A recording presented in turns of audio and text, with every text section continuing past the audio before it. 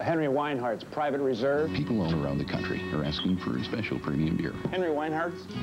But no one asks in quite the same way. Some shorten the name. Henry's. And others don't use it at all. Give me a Hanks. Henry's. There are lots of different ways people ask for Henry Weinhard's Private Reserve.